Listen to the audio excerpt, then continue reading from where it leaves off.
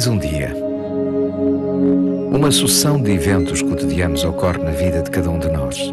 A nossa sobrevivência depende de alguns deles. Outros tornam a nossa vida mais agradável e confortável.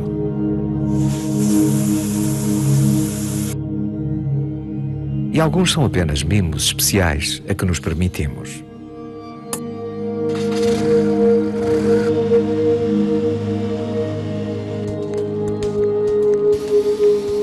Todos eles têm algo em comum.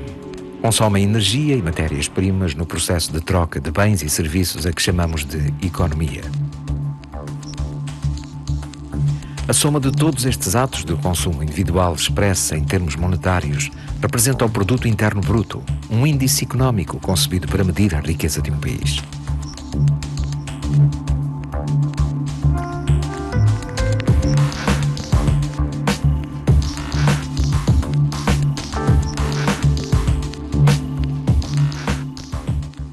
Sociedade de consumo, o PIB nunca pode parar de crescer. A máquina económica deve sempre levar-nos mais longe.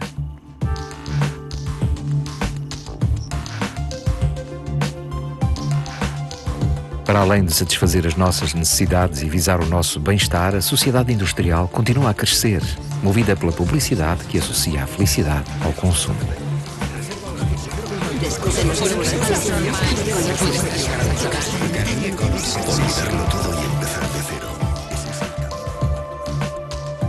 Em vez de pormos a economia ao nosso serviço, comercializamos a nossa existência, consentindo irrefletidamente a sermos, acima de tudo, consumidores e não pessoas. A consequência é a exploração de recursos naturais numa escala sem paralelo. Atualmente excedemos em 1,6 vezes a capacidade do planeta de produzir os recursos de que precisamos e de absorver o desperdício que produzimos. Se todos nós vivêssemos como os europeus, precisaríamos de quase quatro planetas. E de mais do que cinco se vivêssemos como os americanos. Paradoxalmente, neste mundo de suposta abundância, há algo que parou de crescer há algum tempo: a distribuição da riqueza. Após um século de crescimento exponencial, metade da riqueza do mundo está nas mãos de 1% da população.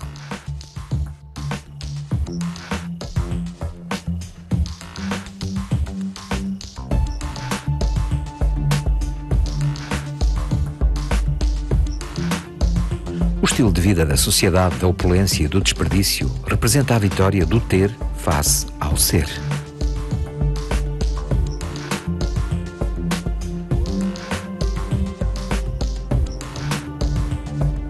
Nesta corrida de acumulação de riqueza, o sistema económico santificou um conceito, a ponto de torná-lo numa nova religião: o crescimento.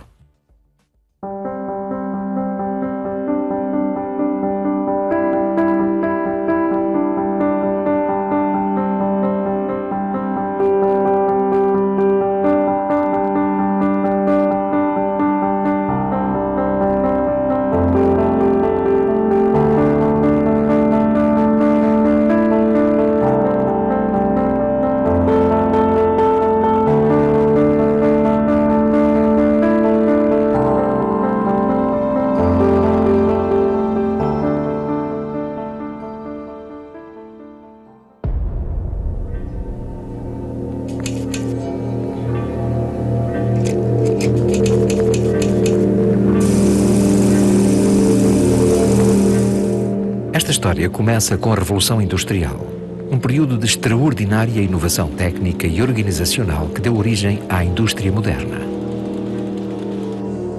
Com esta grande transformação, a economia sofreu uma mudança radical e ocupa agora um lugar-chave na vida dos seres humanos. Nelle società preindustriali, in qualche modo, l'economia era dentro la società, no? nel senso che l'economia era solo una funzione della società. Con la rivoluzione industriale, con l'affermarsi della società di mercato, lo scambio di mercato diviene il cuore della società e come dire solamente comprando e vendendo, comprando e vendendo se stessi anche il proprio lavoro, si può vivere in una società di mercato.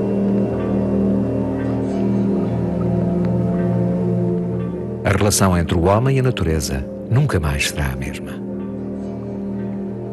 A força humana e a tração animal deixaram de ser a principal fonte de energia, tendo sido substituídas pelas máquinas e pelo uso do carvão, uma fonte de energia mil vezes mais eficiente. A produção aumenta acentuadamente e procuram-se novos mercados que permitam escoar o excedente, o que, por sua vez, aumenta a necessidade de matérias-primas. Entramos numa espiral imparável de produção e consumo que estimula a competição feroz entre países e regiões. O resultado é um enorme crescimento económico que, por sua vez, promove o desenvolvimento financeiro e especulativo. Il rapporto tra economia e società è completamente mutato. Oggi possiamo dire che uh, la società si deve adeguare alle leggi dell'economia e questo comporta essenzialmente due cose. La vita della gente è trasformata in merce e questo nel tempo ha prodotto grandi ineguaglianze economiche e grandi ineguaglianze nelle condizioni di vita, di reddito, eccetera, e soprattutto meno noto, meno capito forse, una progressiva dissoluzione dei legami sociali.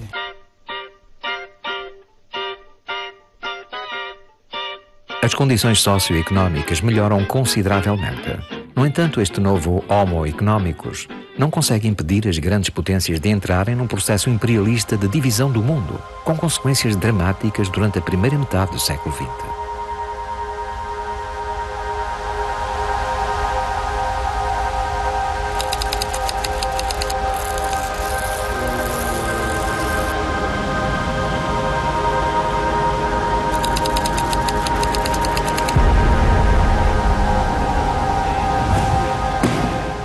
Guerras devastadoras e períodos de expansão e de crise ocorrem sucessivamente até ao fim da Segunda Guerra Mundial, altura em que o modelo económico sofre uma segunda mudança decisiva.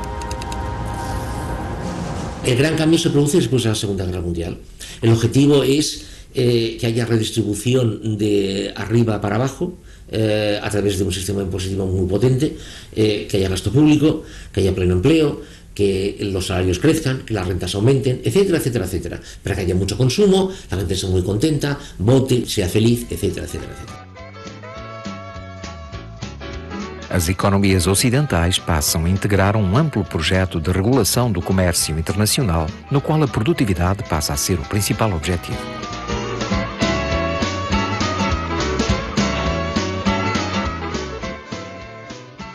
Esta fase de crescimento económico encontra na televisão a montra perfeita para publicitar as virtudes de qualquer novo produto. A facilidade com que esta invenção recente penetra em cada lar torna-a no meio de comunicação ideal para impulsionar as vendas. like to buy the world a home and furnish it with love. Grow apple trees and honey bees Entramos numa nova fase de capitalismo, caracterizada pela produção em massa e pelo consumo de bens e serviços, que, apoiada por uma poderosa indústria publicitária, deu origem a um período de crescimento exponencial sem precedentes.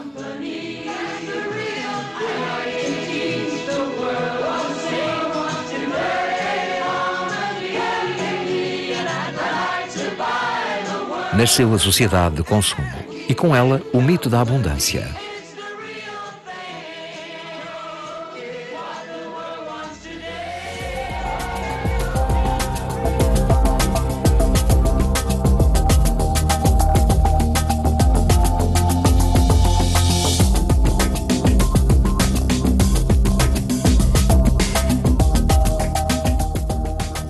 carvão alimentou a Revolução Industrial, a produção de petróleo em grande escala possibilitou três décadas de grande prosperidade nesta nova sociedade.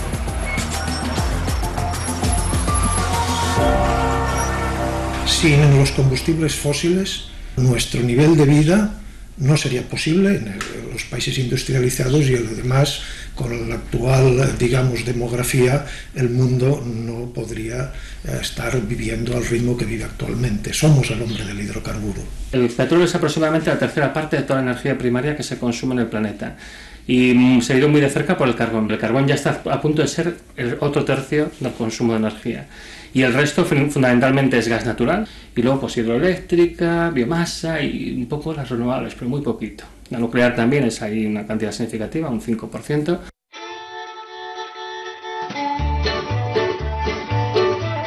Esta dependência do sistema económico nos combustíveis fósseis é evidenciada pela crise do petróleo de 1973. We are heading toward the most acute shortages of energy since World War II. As pessoas começam a questionar um modelo baseado no crescimento ilimitado. Algo já tinha sofrido advertência dois anos antes por parte do economista Nicolás Georgescu Rogan. No seu livro A Lei da Entropia no Processo Econômico, Nicholas demonstra que num planeta finito não é possível crescer infinitamente.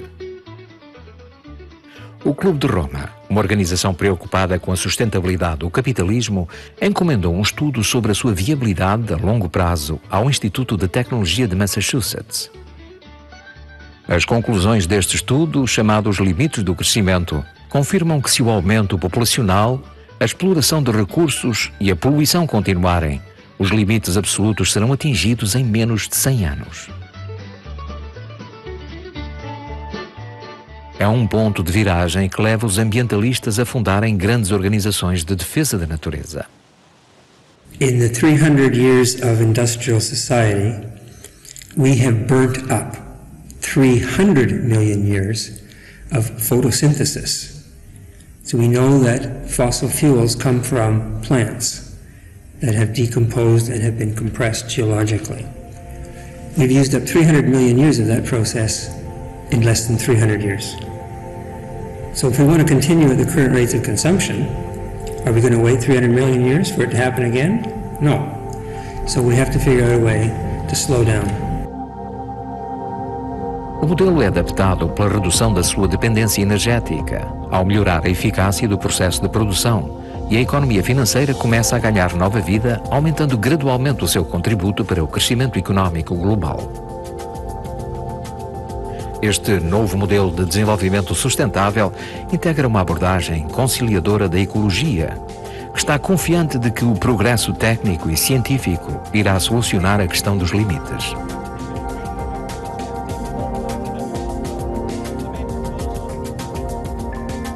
A revolução digital e a internet dão um impulso definitivo à nova globalização económica. Uma instituição antiga desempenha um papel decisivo nesta fase a bolsa de valores. Están manipuladas por los grandes fondos de inversión, los grandes fondos de pensiones, que pueden hacer mover los índices bursátiles como les da la gana en función de criterios diversos y variados. Los precios de las materias primas se encarecen. Y cuando esa materia prima es el petróleo, es el trigo, es la soja, es eh, el arroz, es el cacao, es el café, es que estamos machacando a una parte de, de, de los habitantes del planeta Tierra.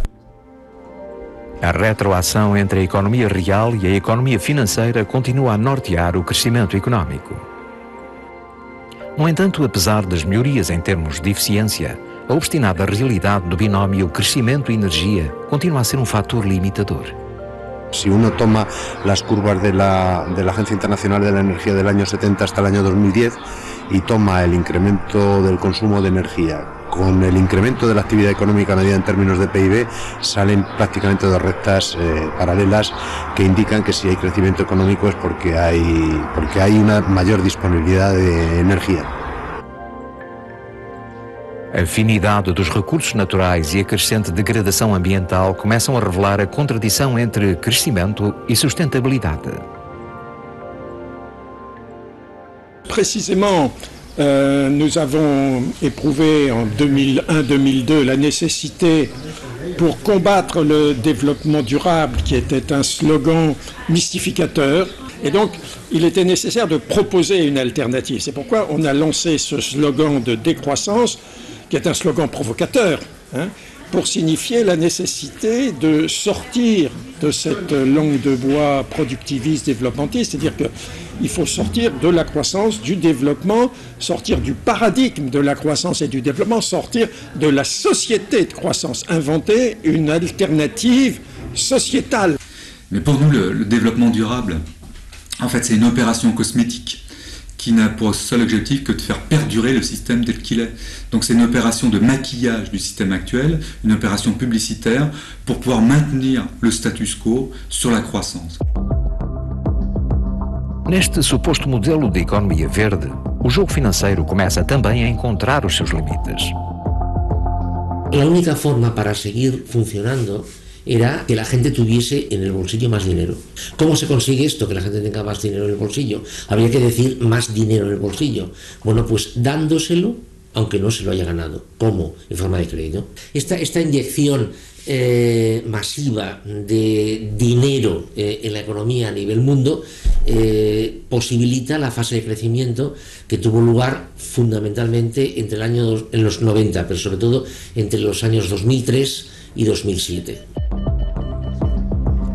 Esta dopagem do crédito inflaciona bolhas especulativas incompatíveis com um sistema que está a entrar numa fase de escassez de recursos, na qual um futuro incerto compromete a capacidade de endividamento. El crecimiento económico ha sido una concatenación creciente de mayor capacidad productiva y mayor capacidad de endeudamiento, hasta claro, hasta que se ha llegado a un límite físico en el que eh, los entes económicos, personas, eh, eh, familias, empresas, bancos, no, pueden endeudarse más y ahora tenemos una excelente capacidad productiva, con una deuda que se arrastra y que mm, en muchísimos casos no se puede pagar. Mientras ha habido recorrido, genial. En el momento que ese recorrido se ha agotado, adiós.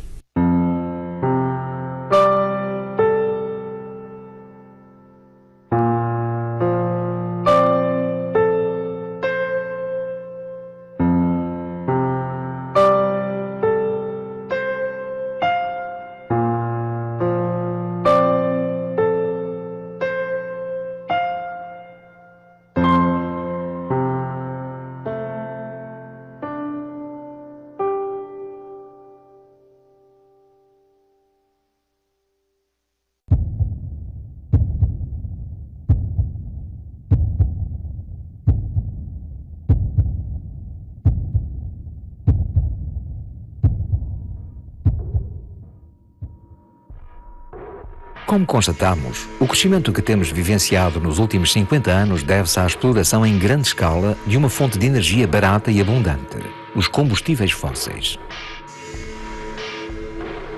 Nesta enorme dependência energética do sistema, a imensa rede global de transporte de bens e pessoas desempenha um papel decisivo. El sector crítico que es el eslabón más débil del sistema energético es el sector transporte.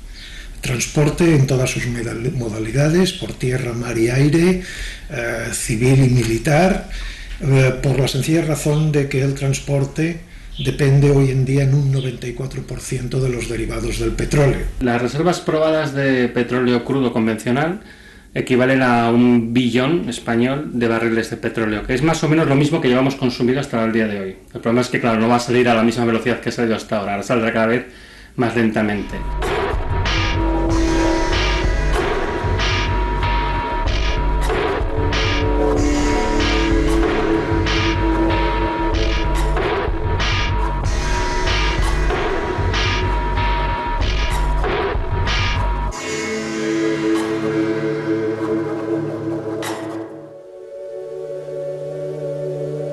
Extração do petróleo segue uma curva em forma de sino.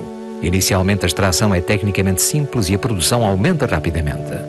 À medida que a quantidade de petróleo diminui, a extração torna-se cada vez mais difícil até que se atinge um pico máximo, depois do qual a produção diminui irremediavelmente. Dentro em breve, os campos petrolíferos deixarão de ser rentáveis, embora ainda haja bastante petróleo no subsolo. Será que atingimos o pico da produção?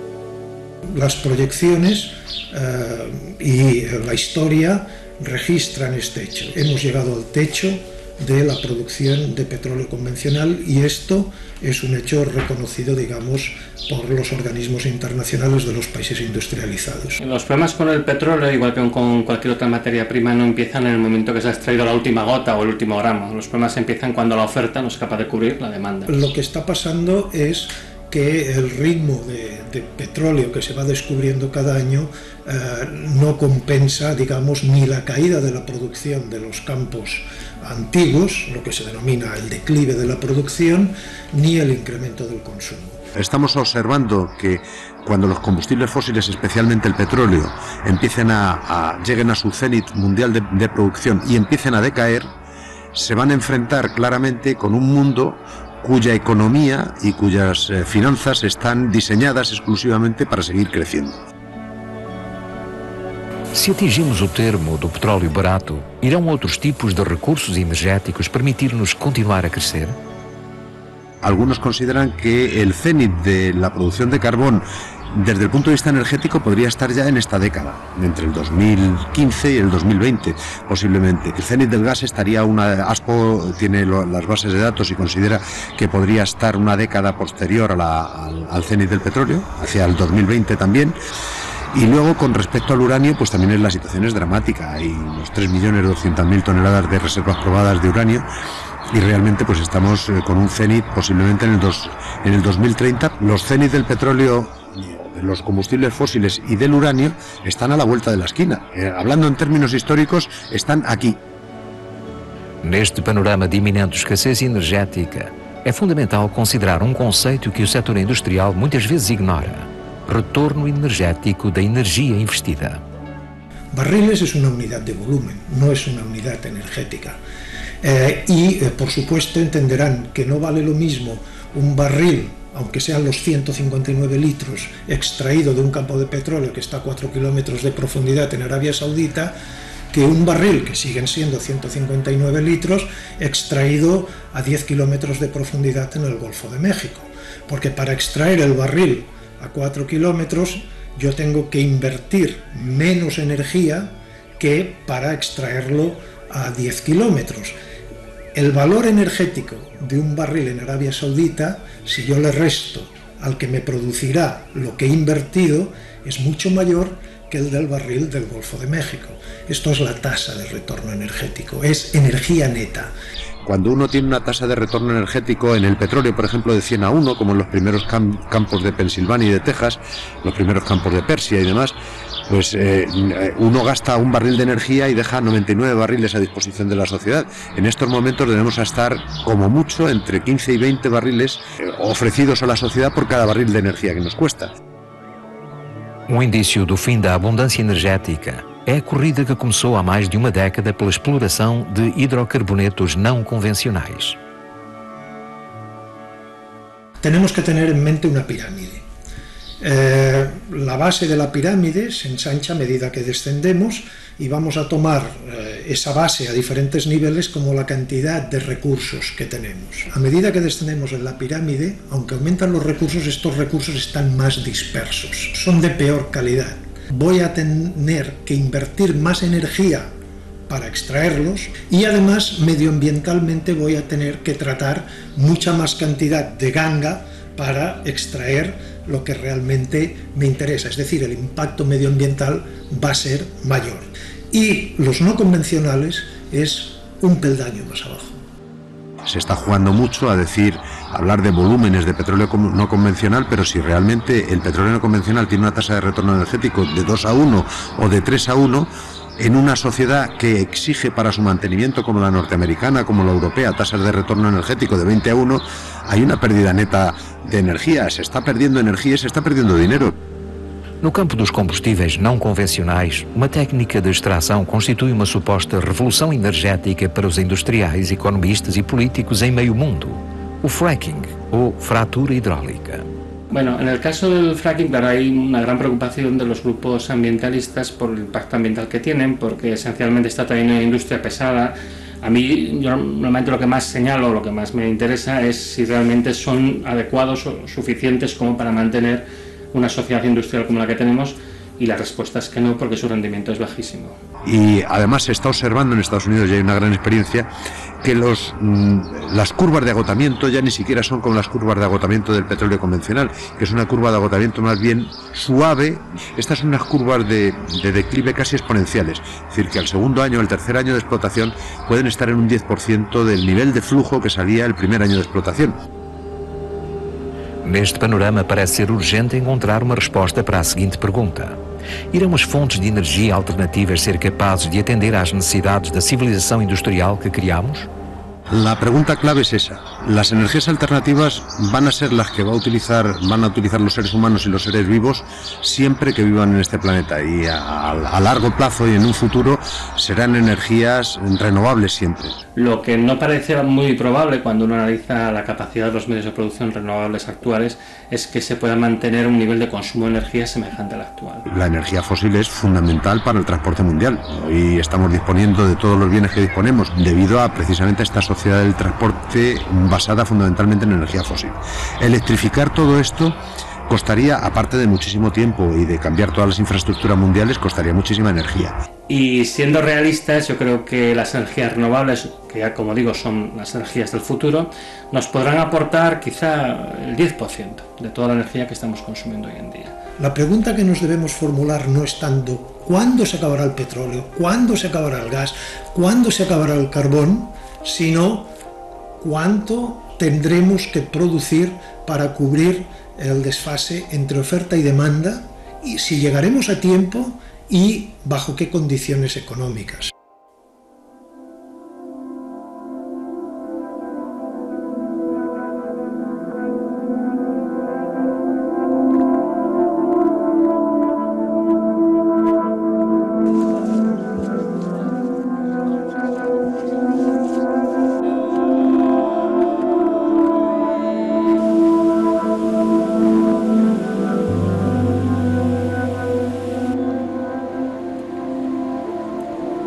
Crise energética é grave, a crise ecológica é assustadora.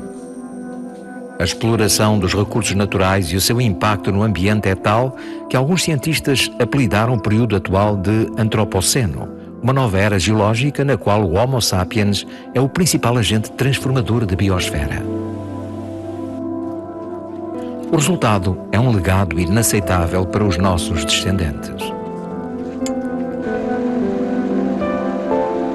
Si el sistema consigue solventar la crisis financiera, y pongo el condicional por delante porque no lo tengo claro, inmediatamente será evidente que lo que viene por detrás es mucho más grave, el problema ingente de los límites medioambientales y de recursos del planeta, atizado por esa realidad cada vez más imperiosa que es el cambio climático y por el agotamiento de la mayoría de las materias primas energéticas que utilizamos. Esta forma de vida eh, basada en el mm, consumo, en el hiperconsumo y en el megadesperdicio, ha sido mm, posible eh, en unos momentos en los que se suponía que eh, la cantidad de recursos era limitada.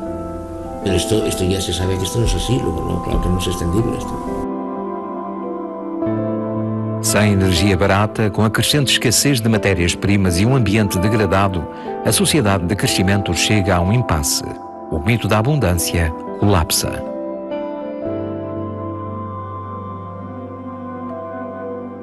Hoje estamos a testemunhar este momento histórico.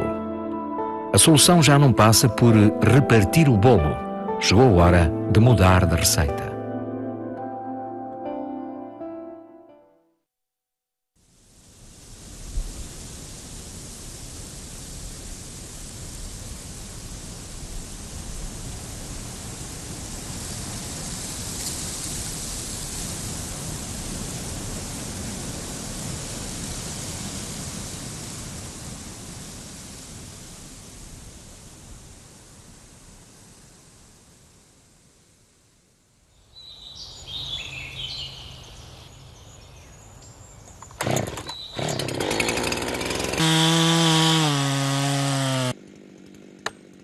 Capitalisme, c'est déjà un système économique diablement efficace qui repose sur l'exploitation du travail, sur le pillage de la planète. Le capitalisme, c'est une réponse à nos angoisses existentielles, à la peur de mourir au sentiment de finitude. Même si c'est pas plaisant à dire, mais il faut reconnaître que le capitalisme nous donne à jouir. Le capitalisme nous fait jouir, mais c'est une mauvaise jouissance. C'est une jouissance d'emprise, d'avoir, d'accumulation. C'est le toujours plus. Toujours plus de richesse économique, toujours plus de pouvoir sur les autres, sur la nature. Donc le grand enjeu aujourd'hui, c'est de passer de cette jouissance d'avoir, d'emprise, à une jouissance d'être. C'est se souvenir que l'être humain est d'abord un être social. Et je dirais que c'est à partir de cette analyse, où on dénonce le capitalisme dans toutes ses dimensions, qu'il faut, par exemple, se mobiliser contre l'agression publicitaire. Parce que euh, la publicité, je dirais que c'est un double mensonge. C'est déjà l'illusion que le bonheur serait dans la consommation, comme si le fait de posséder 10 paires de baskets permettait de courir 10 fois plus vite. Mais la publicité, c'est aussi euh, l'idée qu'on pourrait compenser la perte des repères de sens, des valeurs, des identités, par la consommation des produits de marque.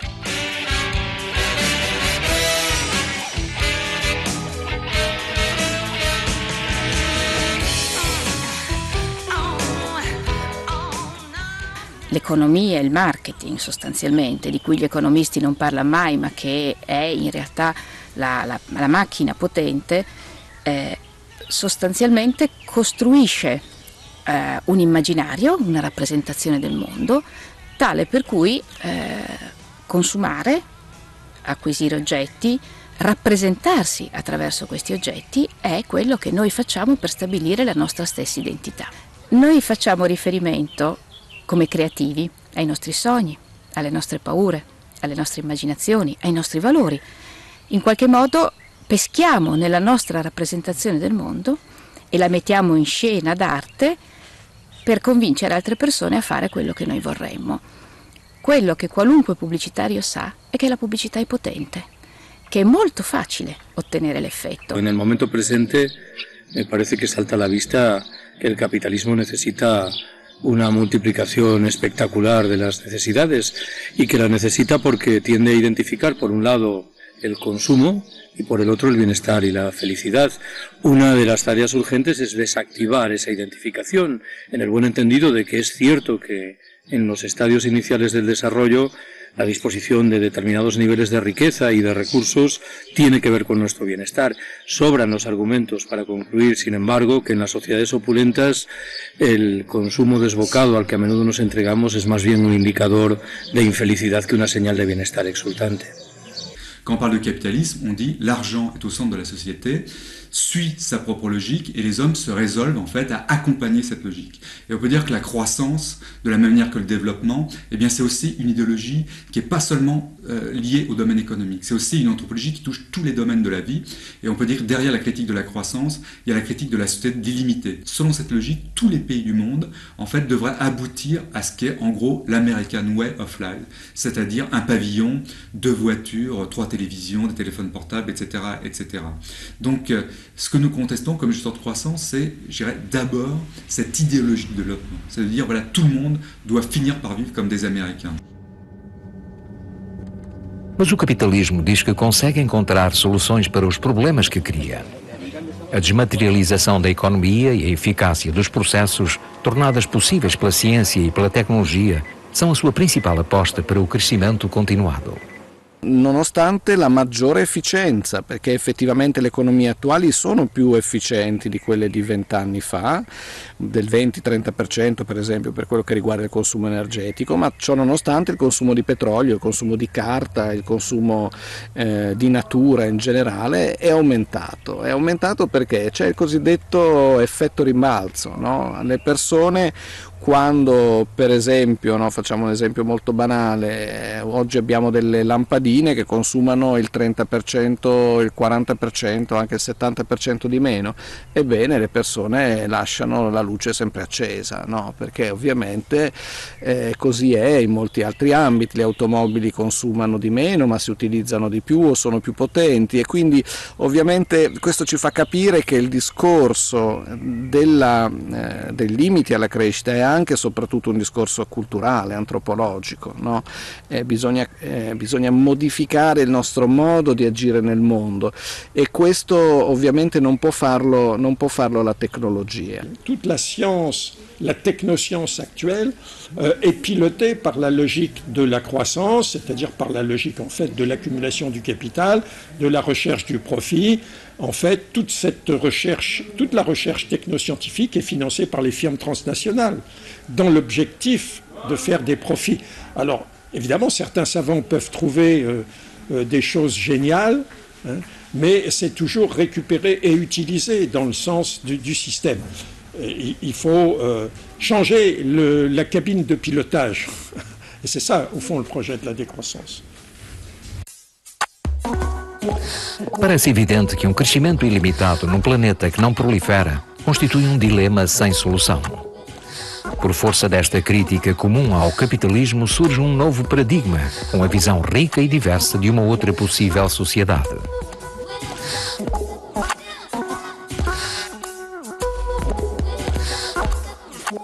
La décroissance, c'est tout sauf l'austérité. La décroissance, c'est tout sauf d'appeler les gens à se serrer la ceinture un peu, beaucoup, passionnément ou à la folie. La décroissance, c'est tout sauf de croire qu'il faudrait faire la même chose en moins. La décroissance, c'est en fait d'imaginer d'autres façons de vivre, d'autres façons de produire. Le mode de vie des Occidentaux, des gens qui appartiennent aux pays riches, il est absolument pas généralisable à l'ensemble de la planète. Donc euh, si on veut pouvoir vivre bien et longtemps sur la planète, en harmonie avec toutes les autres personnes qui s'y trouvent, eh bien il va falloir que ces, personnes, toutes les gens qui habitent les pays riches, dans leur moyenne, parce qu'il y a aussi des gens qui, qui sont en situation de sous-consommation dans les pays riches, mais il faudra malgré tout que nous apprenions à consommer moins. Alors consommer moins, c'est pas consommer moins pour consommer moins, ce qui serait absurde. On le dit souvent, un des slogans les plus importants du taux de croissance, c'est moins mais mieux.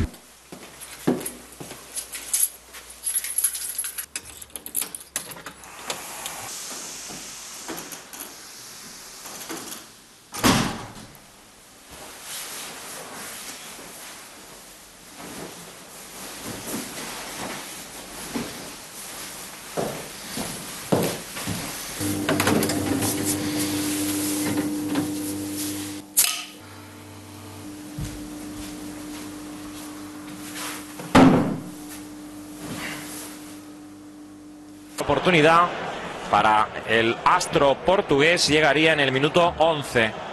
Y eso que el Barcelona había empezado mejor. Prometo ayudarte a amar la vida, abrazarte siempre con ternura y tener la paciencia que el amor exige.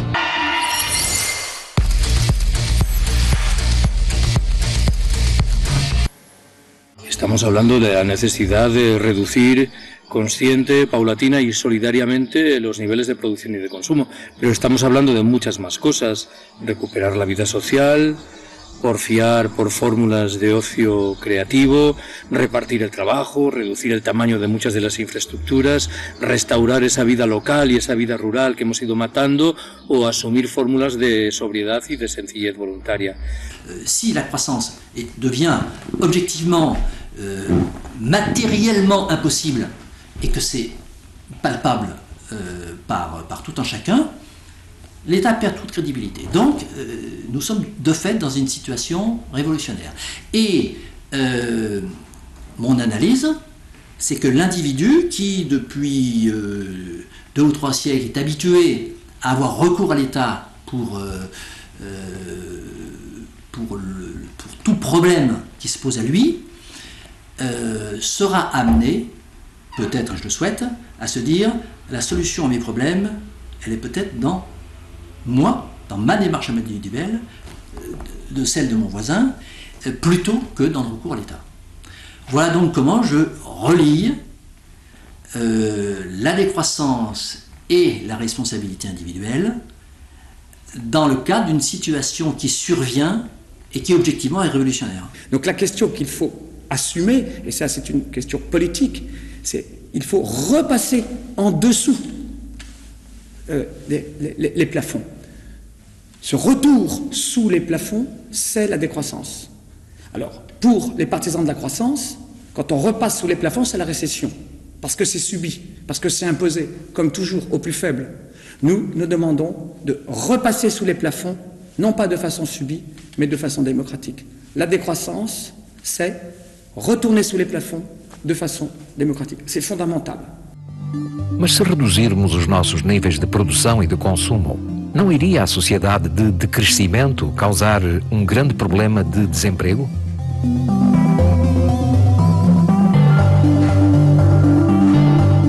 Le système euh, productiviste, par nature, il va produire du chômage de masse. Pourquoi Parce que c'est un système qui cherche à produire toujours plus avec de moins en moins de. Alors si on prend des exemples très basiques pour comprendre, si on prend l'exemple de la distribution, sur un marché de proximité, il faut beaucoup de personnes pour distribuer relativement peu de denrées. Si vous prenez de la grande distribution, tout d'un coup, la productivité va être décuplée, donc il faudra beaucoup moins de personnes pour distribuer énormément de marchandises. Euh, la décroissance, c'est un système qui naturellement sera moins demandeur d'énergie fossile, qui sera plus demandeur de personnes pour, euh, pour travailler. Lo que el crecimiento dice es que podemos vivir mejor con menos. Esto significa que tendremos que trabajar menos horas, que acrecentaremos nuestra vida social y que procederemos a repartir el trabajo, algo que infelizmente no han hecho las fuerzas sindicales mayoritarias en los últimos 50 años. É fácil de compreender o decrescimento em sociedades desenvolvidas, mas num mundo desigual há uma esmagadora de pessoas que ambiciona legitimamente o crescimento económico para melhorar as suas de vida. Le gâteau planétaire, il est bien assez riche déjà pour permettre à 7 milliards d'humains de vivre bien. C'est pas moi qui le dis, c'est l'ONU. L'ONU nous rappelle qu'il suffirait de mobiliser chaque année 40 milliards de dollars, et ceci pendant 25 ans, pour régler le problème de la faim dans le monde. Ces 40 milliards de dollars nécessaires pour que plus personne ne crève de faim, on peut les comparer aussi aux 100 milliards de dollars des gaspillages alimentaires, ne serait-ce qu'aux États-Unis. Je dirais la grande question, c'est qu'est-ce qu'on produit, comment et pour qui? C'est-à-dire de satisfaire les besoins fondamentaux de l'humanité.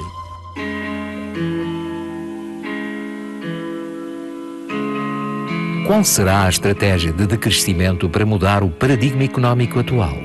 Como pode esta mudança ser efetuada? Atuando em três níveis ou formas de resistência: simplicidade voluntária, experiências de transição coletivas e ação política.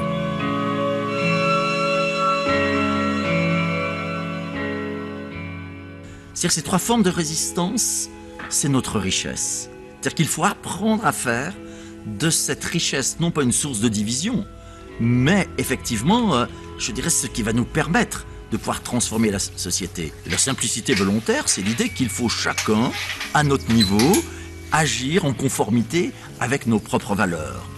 Mais il s'agit le plus possible individuellement d'avoir des pratiques de désaccoutumance à la croissance. On ne demande pas que tout le monde soit un pur abstrait vivant euh, dans un vaisseau spatial euh, déconnecté de la réalité. Mais il y a une véritable exigence de cohérence personnelle. Donc tout ce qu'on peut faire tout de suite, il faut le faire. Mais on ne ferait que ça, ça risquerait déjà d'être insuffisant, ça pourrait même être négatif. Ça serait déjà insuffisant parce que à quoi ça servirait? D'être un certain nombre à se faire plaisir, parce qu'il y a du bonheur à échapper à la dictature des marques, il y a du bonheur à ne pas être un forçat du travail et de la consommation. Mais à quoi ça servirait d'être un certain nombre à se faire plaisir si les logiques dominantes restaient en place? D'où la nécessité d'un deuxième niveau de résistance, qui est celui des expérimentations collectives tout ce que l'on peut bricoler ensemble, dans les marges, dans les franges, pourquoi pas au corps de la société, doit être fait. C'est aussi bien le retour aujourd'hui du mouvement coopératif, de production, de consommation, d'habitation. C'est également les AMAP, les associations pour le maintien d'une agriculture paysanne. Ce sont les monnaies locales qui sont lancées. Ce sont les médias alternatifs. Ce sont les méthodes pédagogiques alternatives. Ce sont les médecines alternatives. Tout ce que l'on peut bricoler doit être fait. On est toujours sur, sur nos deux jambes. Comment, dans notre vie propre, on peut essayer de vivre différemment, essayer de se passer d'automobile, essayer de, voilà, de vivre sans téléphone portable, vivre différemment. Se déplacer à bicyclette, marcher à pied, ralentir, et puis essayer d'un autre côté, essayer de construire du collectif, euh, que ce soit à travers des partis politiques, des associations, des, micro-entreprises, pour essayer de, développer ces, idées. Donc on voit comment les choix individuels et les choix collectifs sont imbriqués. Les deux, en fait, sont en tension en permanente. Donc c'est ce qui est intéressant dans la décroissance, ça oblige à penser ces tensions entre toutes, tous les différents paramètres. Parce que je dirais que tous ces laboratoires du futur seront les lieux où va s'inventer le monde de demain. Mais là encore, on ne ferait que ça. Ça pourrait être insuffisant. D'où la d'un troisième niveau de résistance. Simplicité individuelle, démarche collective. Et troisième niveau, le début de l'ébauche de ce que peut être demain, je suis très prudent, un nouveau projet politique. Notre vision de la décroissance, euh, c'est-à-dire la vision euh, du mouvement des objecteurs de croissance, euh, c'est une vision politique. Nous avons, nous aussi, des noms à apporter. C'est tout l'héritage des socialistes utopiques des socialistes de, depuis Owen, depuis Proudhon, où là nous avons, comment dire, des précurseurs, des ancêtres dont nous avons à hériter. Et fondamentalement, quand nous lisons, quand nous étudions les socialistes utopiques, nous voyons quoi? Qu'ils avaient déjà une autre façon de faire de la politique non pas en préconisant la victoire dans les urnes, mais d'emblée en, proposant une politique très concrète par des expérimentations minoritaires, par des alternatives concrètes, par d'autres façons de faire l'école, d'autres façons de produire. Et c'est tout ce mouvement-là qui, au XIXe siècle, est à la source, à l'invention des notions de mutuelle, de coopérative et d'association. D'enlever la dimension romantique Cada vez mais pessoas se lançam ao caminho da transição, mas a esmagadora maioria da sociedade continua a avançar na direção da insustentabilidade irreversível.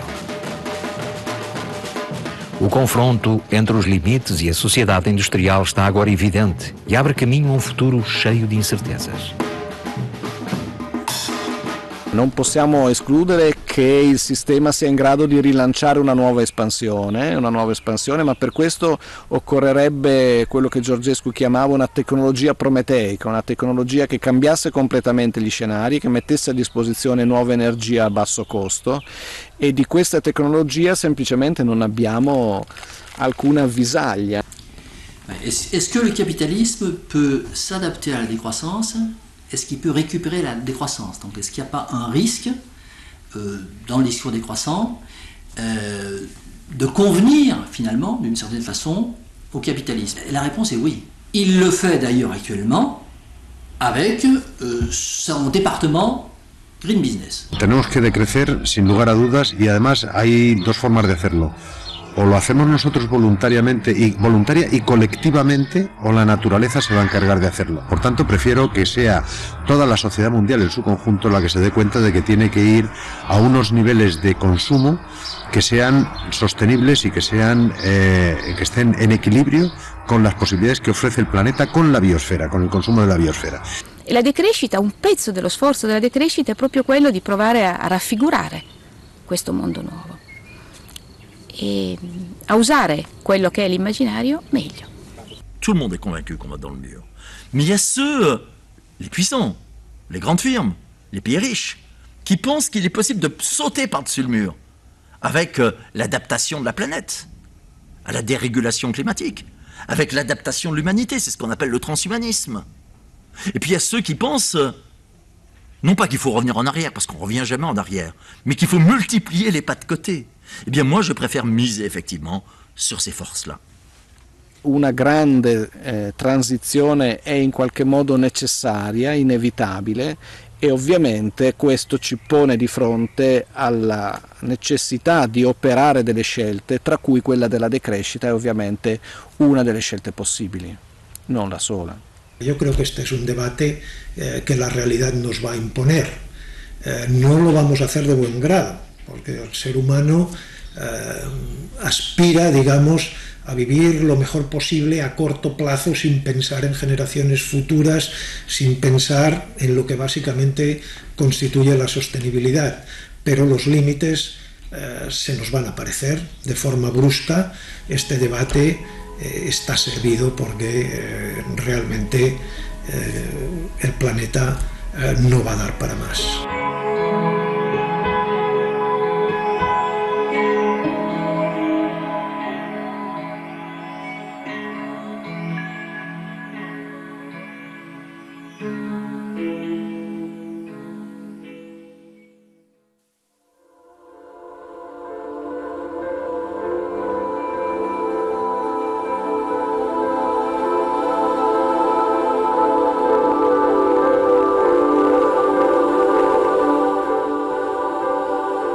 Grécia Antiga, a principal falta moral era a ubris, o excesso, o desrespeito pelo espaço dos outros e a falta de controle sobre os impulsos.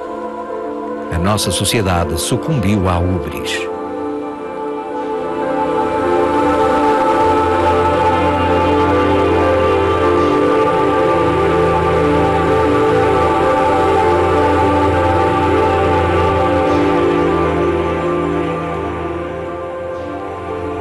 Podemos fechar os olhos, cruzar os braços e não tomar parte na mudança necessária. Ou podemos abri-los e participar.